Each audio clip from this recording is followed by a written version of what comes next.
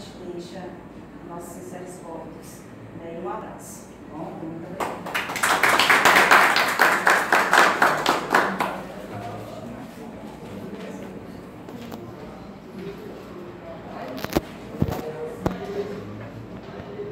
Hoje é